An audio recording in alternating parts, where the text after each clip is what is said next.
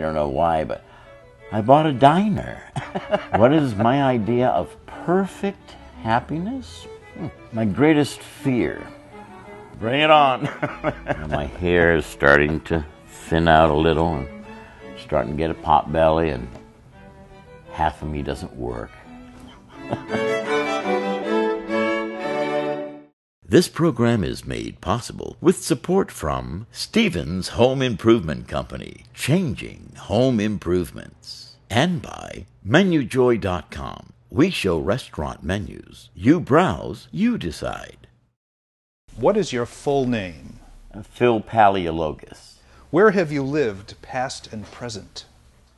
I lived in about 10 different states growing up, from South Carolina to uh, Jamestown, New York, from Canton, Ohio to Tulsa, Oklahoma, New York City to Hot Springs, Arkansas, Charlottesville, Virginia, Boston, New Bedford, a lot of places.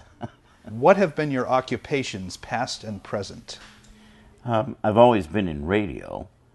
I got in radio when I was 16 years old in Hot Springs, Arkansas, and uh, pretty much maintained you know, a, finger in broadcasting throughout my years. And uh, then a midlife crisis occurred, and I started selling jewelry for a short while when uh, my wife was pregnant with our first. And uh, about two years after that, I, uh, I don't know why, but I bought a diner. And uh, a lot of people say, well, why did you do that? And um, I think it was because of my heavy drinking at the time. What have been your hobbies, past and present? Well, I don't have really a hobby like tennis or perhaps, you know, woodwork or anything of that nature. You know, when you think of a hobby, you think of those things. What I love doing, though, is promoting causes that help people. It's not a hobby, though. It's uh, something. It's a passion of mine, and uh, I decided very early on, if I had time to maybe go out and sail a little, or uh, perhaps you know on the tennis court or in golf, I would best use that time to serve others. So that's what I decided, and I really didn't pick up a hobby. Uh, although, as a teenager, I liked woodwork. I liked uh, working with a jigsaw. And uh, then, you know, once in a great while, when the kids were younger, I loved going fishing with them. So you might, if there's any one thing I can say is I love fishing with the family, now the grandchildren. What is my idea of perfect happiness? I don't think there is perfect anything. Um, I have found that life is made up of imperfections, and many, many times it takes a lot of failure, it takes a lot of mistakes uh, to just come back and try again. Perfect happiness, I would say the closest that I could get to happiness is to make sure that I know where my proper place is in life, meaning the Lord is first, then I come after that as the father of my family, my family, work, friends, so on.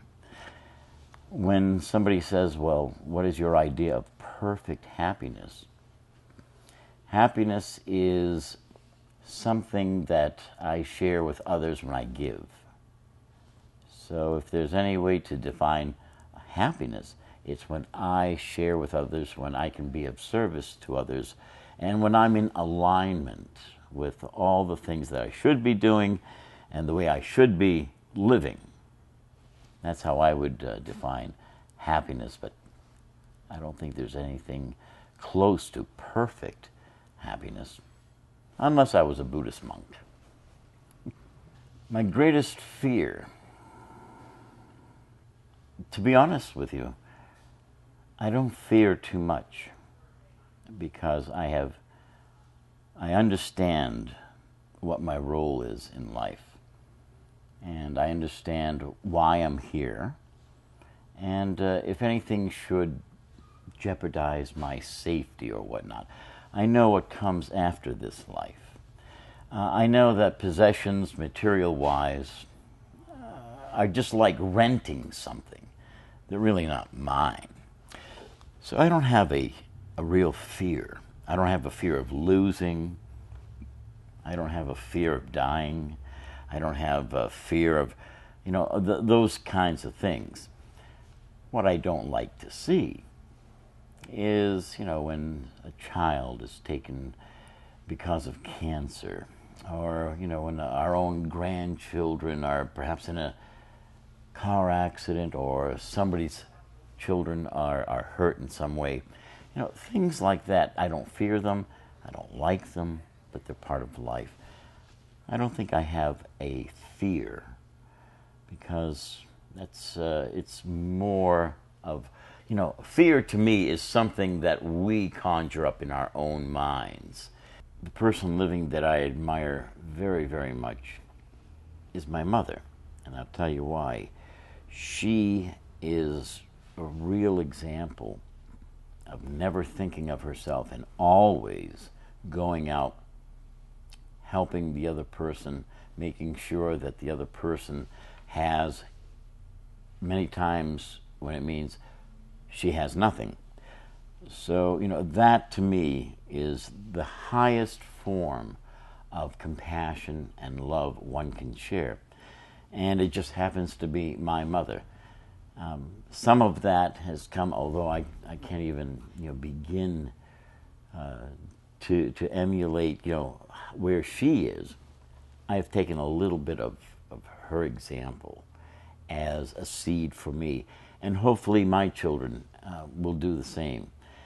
But uh, as for you know living historical figures, you know there are, I love people who find cures I love people who find or discover things that are truly, you know, a, a real boon for humankind. I love people like that who make the world better. I love musicians who, you know, share their goodness with the world and make us happy on a sad day. I love, you know, people in uh, theater, actors, uh, wh- whatever it may be, because they're sharing their talents and making this a better world. So I love people who make this a better world. What is the trait you most deplore in yourself? Oh, I uh, deplore the fact that I say one thing and do another. you know, the, the old, you hypocrite. I find myself thinking that I won't do something, and there I go. I'm I'm off on a fishing expedition doing just what I said I, I wouldn't do. Um, although, you know, it's not uh, something that's out of control, it's just discipline. There, there could be more self discipline in uh, the way I think, the way I live. What is your favorite journey? One of my most favorite journeys was years ago when my son Alex was a Boy Scout, and we'd go to Camp Cachalot. I loved those kinds of journeys. I loved it when we went white water rafting with his Boy Scout troop and had a chance to bond in a way that you know made that journey very very special and then go on to do other things i loved uh, the journeys that i'd take with my daughters as well you know anything that brought us closer together. Uh, we'd go to the uh, Caribbean. We'd take them uh, with us to Jamaica, to the Bahamas. Journeys like that with my family were very, very special, very meaningful because I was happy to share something that they never experienced. But the flip side of that was that we were all getting stronger and happier as a family experiencing this together. So, you know, journeys like that have always been favorites of mine. I, I will add this, though. when I had my national radio show, doing a lot of remotes in different states, different cities, uh, brought me a lot of uh, pleasure as well because I could meet the listeners who tuned in every morning, whether it was in San Diego or in Houston or up in North Dakota. I liked those kinds of journeys as well because I got to meet folks who uh, made me a part of their lives. What do you dislike most about your appearance? I'm not at all, you know, vain in the sense that, you know, my hair is starting to thin out a little and starting to get a pot belly and half of me doesn't work. it doesn't bother me. It really doesn't. So bring it on. what words or phrases do you most overuse? Absolutely. Absolutely none. I don't think. Absolutely none, I don't think. Which talent would you most like to have? Which talent? I would have uh, loved to have learned piano. I, uh, from a young age, admired uh, pianists and uh, jazz pianists like George Shearing or, you know, concert pianists. But I, I would have loved to have learned how to play the piano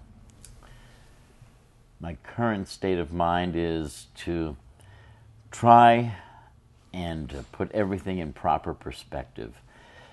As owners of a small business, my wife and I are constantly challenged with the uh, tests of time economically.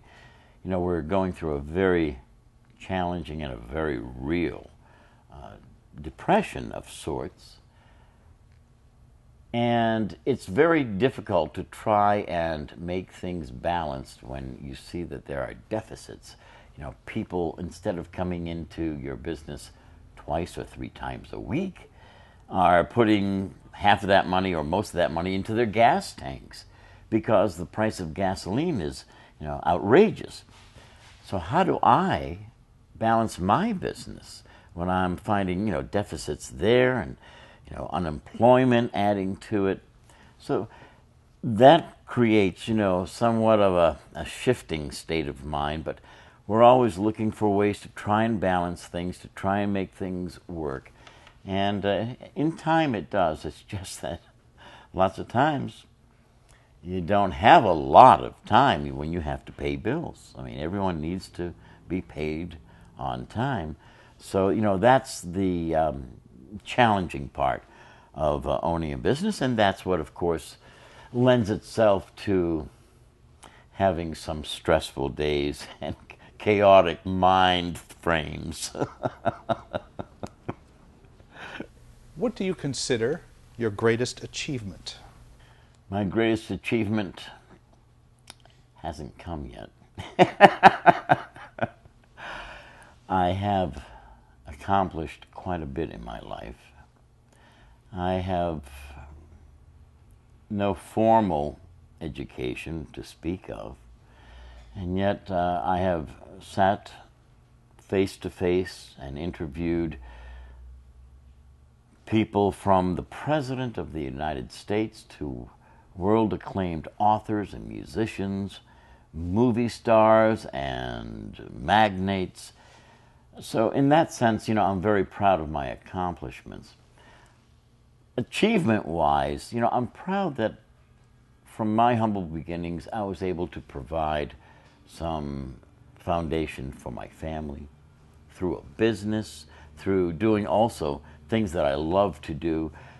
So, you know, I could, you know, contribute that towards some of my uh, uh, accomplishments. But my greatest achievement hasn't come yet. What is your most marked characteristic?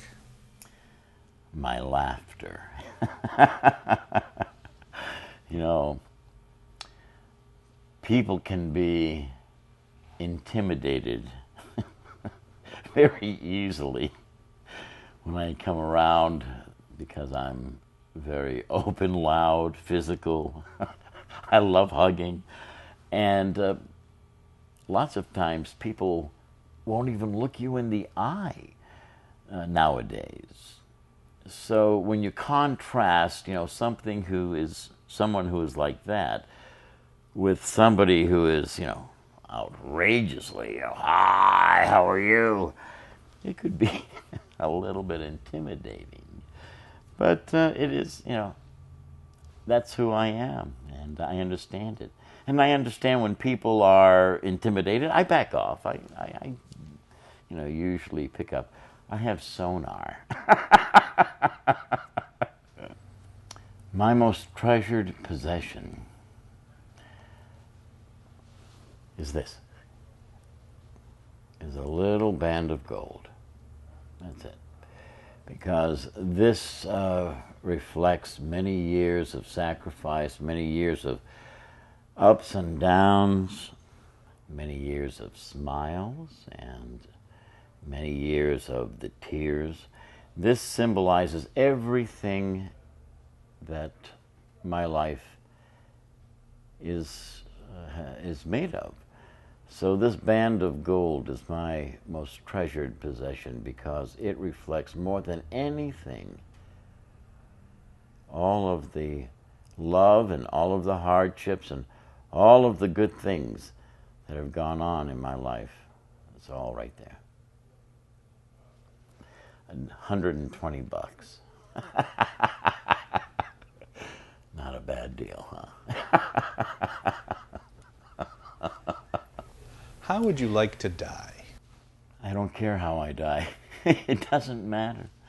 Whether I go in my sleep, whether it's uh, in a plane crash with everyone saying, Hold on, it doesn't matter. and here's why it doesn't matter. I know and I believe in my heart, in my faith, that after this life, after this existence, I will go someplace else. So it's not a death, it's just a transition, it's a, a passing.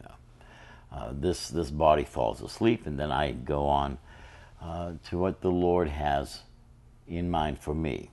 So it doesn't matter to me if you know, the, the, the mode of me dying. It really doesn't. And I'm sure a lot of people are saying, oh, well, you know, you don't want to suffer for a hundred years, uh, you know, with some kind of disease. Well, of course, you know, nobody wants to suffer a long time, but, you know, within reason, it doesn't matter how I die because it just doesn't matter. It has no weight. My motto is very simple do unto others, be prepared that they will not do unto you, but don't allow that to change anything that you're doing for them. And dust off your ass once in a while when you fall down.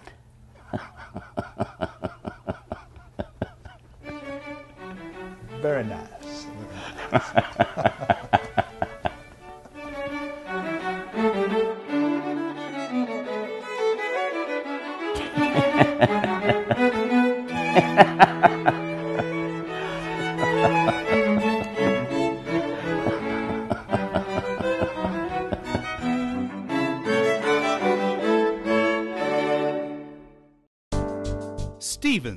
Home Improvement Company is one of the leading home improvement contractors in southeastern Massachusetts.